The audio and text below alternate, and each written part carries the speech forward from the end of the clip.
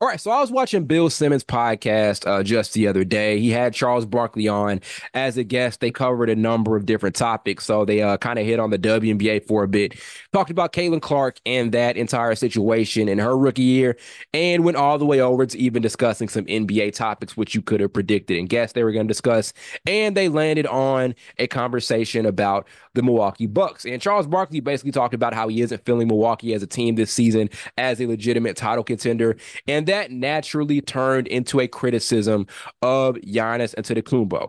A couple of things. For one, I do think that people are pretty premature with their heavy criticisms of this Bucks team. And I kind of saw that coming after they made that Damian Lillard trade.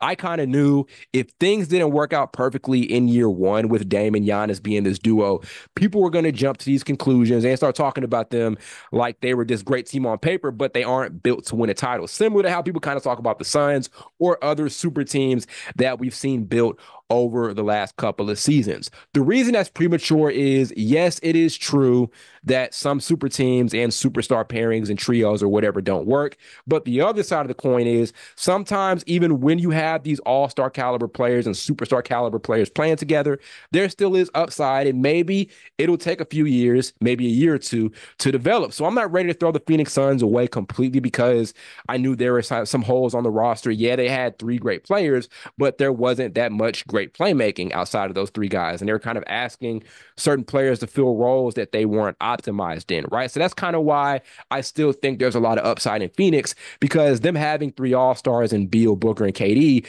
I knew they had that, but there was still a hole and a void on their roster. And they had that point guard in the offseason. They got in Tyus Jones to kind of balance out that offense a bit.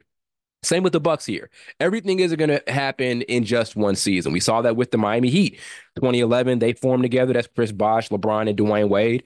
Best trio on paper in the NBA and they didn't win a championship in year one. Now, they did get to the NBA Finals, and they were by default the best team in the Eastern Conference, but still they disappointed in the finals just to come back and win back to back the season after that. So that could be the same thing here with the Milwaukee Bucks. Everything, just because you're like a super team on paper or you have like these superstar level players, doesn't mean by default you're going to win and dominate straight out of the gates, right? Sometimes it is going to take a few years or maybe a year or whatever to fully develop. Now, your window to make that work is a little smaller than other developing teams because if you have that talent, then the expectations are going to be extremely high. But as I said, everything isn't going to be solved in just one year. There's also this, and people ignore this way too much with Milwaukee. They went through a lot last season. So, for one, Khris Middleton was only there for 55 games. That's 10 games under like the minimum to qualify for any major award like MVP, most improved player, and those sorts of things. So it's tough to mesh when your third best player, who happens to be a really good shot creator and former All Star Khris Middleton, isn't there for a significant part of the season. So if you watched them play, you kind of knew that there was something missing. Those guys weren't super in sync with one another. So there was that reality. There's also the coaching thing. They went through essentially three different head coaches in under a year. There was Mike Budenholzer, who they won a championship with back in 2021, fired him, brought back Adrian Griffin. And that was a really weird stint because he had a record good enough to make him the All Star game head coach in the East, but the players weren't meshing, got rid of him, and brought back Doc Rivers.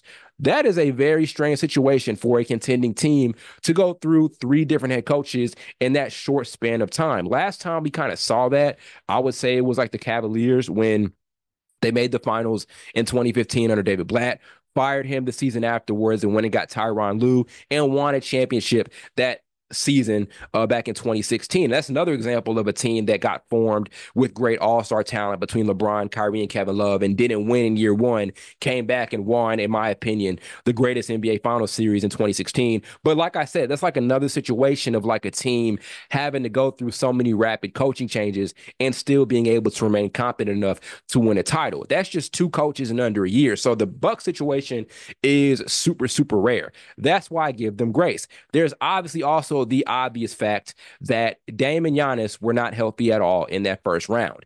I'm willing to bet a pretty healthy amount that if those two guys were there in the first round, the Pacers would not have had their way. And I'm not trying to take any credit away from the Pacers and Tyrese Halliburton and Siakam. Those guys were amazing in that series, but things would have looked completely different if Giannis was out there playing with Damian Lillard for the entirety of that series. In my opinion, that series would have went five at the most if both of those guys were healthy together, right? So there is that. Second point I want to make is this. Uh, I kind of feel like Giannis is getting to that point where the criticism is louder than the appreciation. So that's kind of happened to a lot of all-star, superstar level players over the last couple of seasons where they've done so many significant things on the court, on paper, and all of this stuff. But there are so many criticisms, and they may be fair criticisms, but those criticisms outweigh the appreciation that that player should get. So, a perfect example, in my opinion, is Russell Westbrook. Now, Westbrook is different than Giannis because Westbrook never led his team to the NBA Finals, nor does he have a championship and Finals MVP like Giannis does. But what Russell Westbrook was doing, like in those post Kevin Durant years with the triple doubles and all that stuff, it was unreal. And we may not see that happen in a long time. Now, Luka's playing in the NBA right now, and there are a bunch of other really good all around players. We could see it replicated on the stat sheet with those triple doubles, but the vibe with Russ was just different, right? And he did so many amazing things, but he kind of left his stint in OKC and really up to this point as a player that I feel like is underappreciated. Was he a perfect player? No, right? Never really got a reliable perimeter jump shot, had some issues in the playoffs. There were definitely some series where he should have been able to lead his team to a victory and just couldn't come through. I'm looking especially at that season where they lost in the first round to the Utah Jazz that were led by rookie Donovan Mitchell. That was an embarrassing loss. And I kind of feel like a lot of people started looking at Russell Westbrook a certain way at that point in time. But still, even with those flaws, we saw Russ do some very significant things that, in my opinion, should not be ignored. And so for him, the criticism is way louder than the appreciation. Same also with James Harden. And look, I get the Harden criticism, but if you look at his prime, there are only a couple of guys we saw play at that level offensively in NBA history right? Harden in his prime was absolutely ridiculous. Now, I know he wasn't absolutely perfect in the playoffs, but again, we kind of let the criticisms for James Harden shadow the appreciation for James Harden. And people have to kind of go back and talk about James Harden and how great he was in his prime as if it's like this taboo thing, right? Like on Twitter, if I'm gonna go tweet about something James Harden did, is going to be something on the grounds of y'all must have forgot how great James Harden was in his prime. We shouldn't forget, but those narratives about him kind of made us forget. That's happening a little bit here with Giannis. We just saw him have a ridiculous season where he averaged 30 points per game on 60% shooting from the floor. Yet, too many times a common talking point with Giannis is his perceived lack of skill. Now, I think that is kind of an unfair criticism because Giannis is a very skilled player, more skilled than a lot of people give him credit for. There are some things that he does very well that I think is actually underrated at that people aren't really noticing. So, for one, I talked about this before. I actually talked about this on a video I put out a couple of days ago. Giannis's playmaking is elite. He is one of the most underrated passers and playmakers in the entire league, whether he's kind of getting out of transition and setting guys up Giannis is a really good playmaker, really good IQ guy when it comes to setting up other guys. Saying that to say, Giannis's skill set has gone completely underappreciated because a lot of people talk about him as if he has no skill set. So, perfect example, Charles Barkley saying that Giannis just plays a style of basketball that's essentially one on five in transition where you're trying to barrel into guys and all that stuff. Um, I get it, and I do think there are some limitations in his offensive game, but you don't accomplish the things Giannis accomplishes without having some level of skill, right? Giannis also has a really good basketball IQ. People talk about Giannis as if he does not have that. To average 30 on 60% shooting. And actually have multiple seasons of averaging 30 a lot of times people talk about basketball IQ just kind of when they're referencing passing and playmaking, right? Like that's like the primary thing that comes to mind when people say IQ is passing and things like that. But knowing how to get to your spots and play to your strengths, that is high basketball IQ. I would argue, and I hope you all would agree with this, that Giannis is a high IQ player because he's really good at getting over to his spots. You don't average 30 points per game for multiple seasons, especially average 30 points per game on 60% shooting without a high IQ, without knowing how to get to your spots. Giannis does that very well. Go look at the championship he won in 2021. He was so good in that series because he was consistently attacking from areas that were his areas of strength, right? Kind of attacking out of the mid range. He take jump shots here and there, but I generally think Giannis knows and has a good idea of what his strengths and weaknesses are and plays to those strengths and weaknesses. That a lot of times is not recognized as basketball IQ, but it should be recognized as basketball IQ. And the point that Giannis has consistently been this great, has put up those ridiculously efficient scoring numbers for such a long time these last couple of seasons speaks to how skilled he truly is and how high his basketball IQ is as well. So that's one thing I want to say is yes, I agree that there are some holes in Giannis's game. So for one, he does have to get a reliable enough jumper at some point in time. There are questions about sustainability. Right now he's 29. So when he reaches like 34 or 35 years old, is he going to be able to do some of the same things he's doing now? Answer to that is no. So knowing that he's going to have to get some finesse in his game, maybe a mid-range game.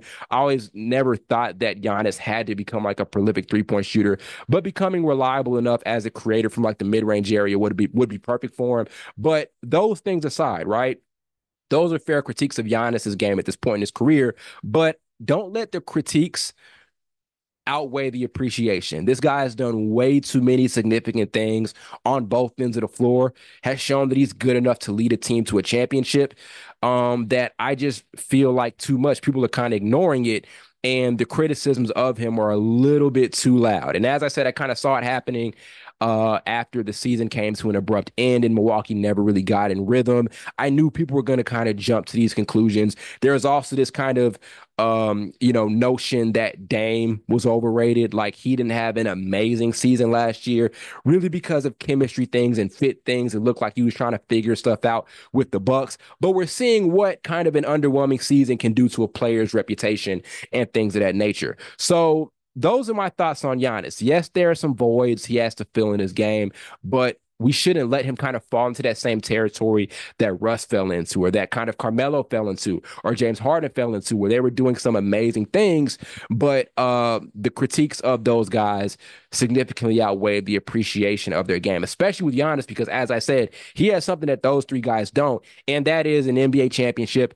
an NBA Finals MVP, and one of the greatest closing performances in NBA Finals history. Now, for Giannis at this point in his career, if you want to have the legacy conversations, it's going to come down to consistently repeating that championship success year in and year out. You have to win multiple championships to be considered like a top 10 player of all time. He has top 10 upside, but in order to be within that top 10, you have to win multiple. Jordan did it, Bron did it, Kobe did it, Tim Duncan did it, Shaq did it.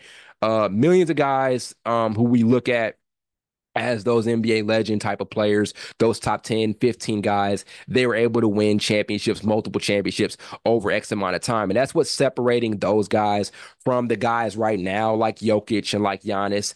Um, you know, and even, you know, I guess like the Jason Tatums of the world, and we'll see what they do this coming season. But repeating and sustaining that championship success is huge to kind of end up a little bit higher in those all-time conversations. So with Steph Curry, uh, he, LeBron, I think Kevin Durant as well, even though it's kind of an unpopular opinion. Those are guys, in my opinion, who are just kind of adding icing on the cake at this point in their careers because they've shown that ability to repeat that championship success, right? Uh, that's absolutely huge, and Giannis has to get that at this particular point in time.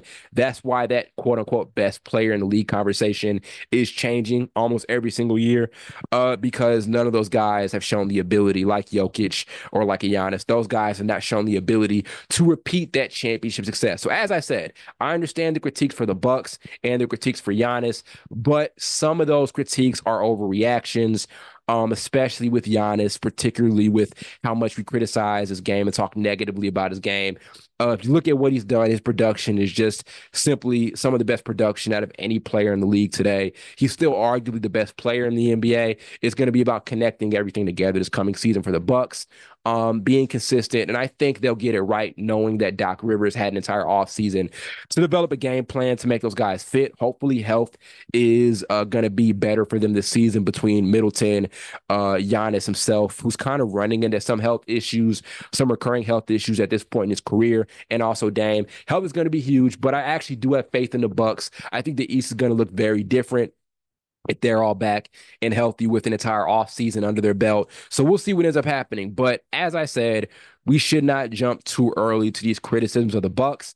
And Giannis at this point has, I think, become over criticized, especially for a guy who's done so many legendary things at this point in his career, including winning a championship. If he didn't have a championship, I'd get it. But outside of that, he does have a championship. He does have a finals MVP. He does have one of the greatest closing performances in finals history. Don't let the critiques of Giannis outweigh and overshadow the appreciation for his game and the accomplishments he's had at this point in his career.